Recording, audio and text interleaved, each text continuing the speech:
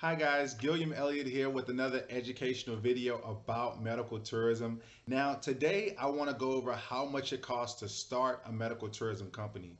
And this video was actually inspired by an email that I recently got um, so I want to actually go and read that email to you and then go ahead and outline what are the major costs when starting a medical tourism company. So I'm not going to go over all the small costs that it takes to start a medical tourism company. I'm going to try to stick to the major ones, uh, the ones that are going to cost you the most money at the beginning. And also some of these are reoccurring. So that's also why I added them to the list.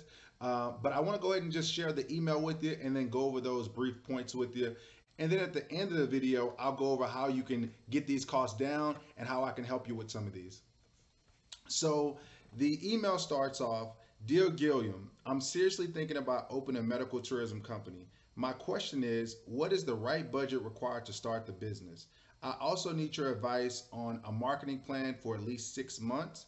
By the way, do you have templates for a marketing plan? So that was the brief email that he sent, and I kind of want to just touch on these points.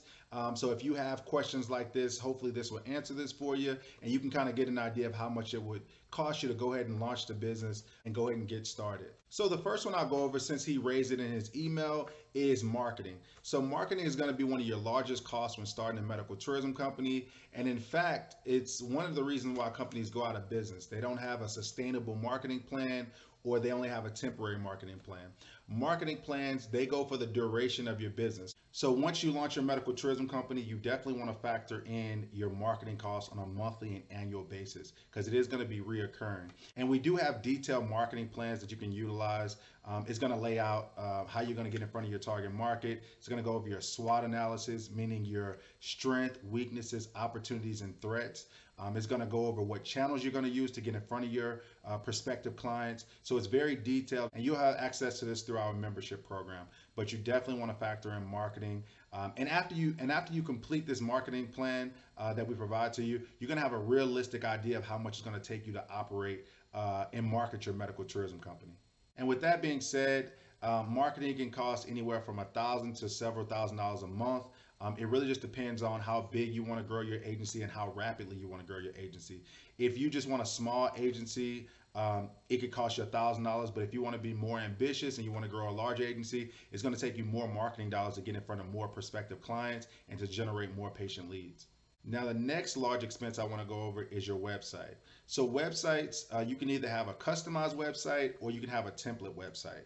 If you get a customized website, that means it's uniquely made for your company, it's built from scratch, and it's going to cost you more money to create. But there's a lot of benefits of having a customized website. Um, one of the reasons that people like websites that are customized for them is because they rank better on Google, they rank faster on Google, um, and it's an overall better experience and it's unique to their company and it's not shared with any other company. So that's the benefit of having a customized website.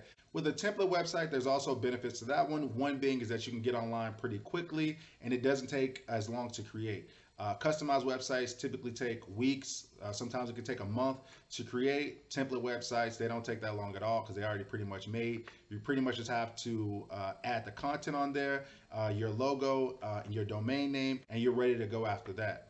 Um, there's also other costs that you want to factor in when having a website. So yeah, there's one, the initial cost to get it composed, but there's also other small fees that you're going to have with the website. So if you don't have a technical background, you may want to hire somebody to maintain the website for you, um, add website security on there, update plugins, and just keep the website running smoothly. Um, so that's another expense, and those are typically smaller expenses. But the overall website is one of the largest expenses you're going to have when starting your medical tourism company. The next expense I want to go over is medical tourism education. Now, when it comes to medical tourism education, you have a couple options. Um, one of those options is you can fly to a medical tourism conference and you can get certified at one of these conferences.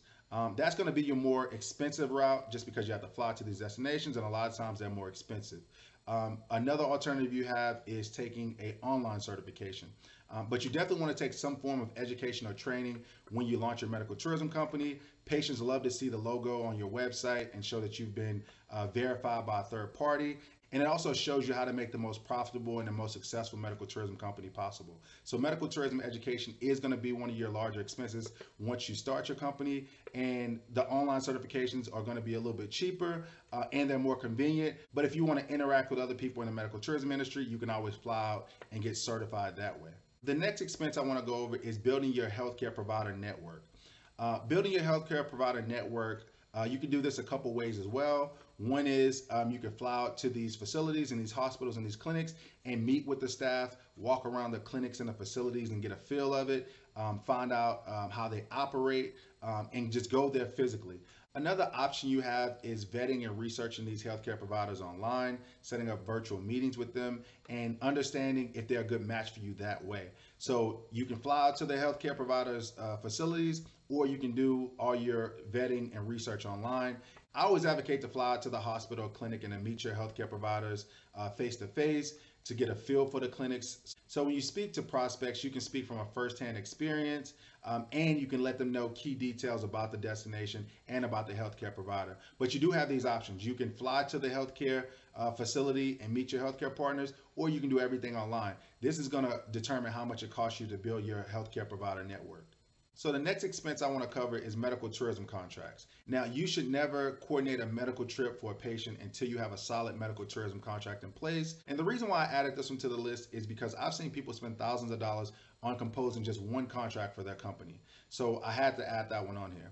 Um, so you have options when it comes to this one as well. You can hire a lawyer. Um, there's not a lot of lawyers that know what medical tourism is or even specialize in medical tourism. So sometimes that's why it can be a little bit more costly to hire a lawyer to compose your medical tourism contracts. Now, another option you have is getting pre-made contracts for your medical tourism company.